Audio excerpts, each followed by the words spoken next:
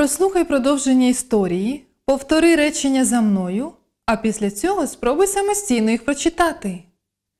Next day, fat cat will not play. Fat cat is on a mat. Fat cat has a nap. А тепер спробуй самостійно скласти речення зі слів, які ти бачиш на малюнку.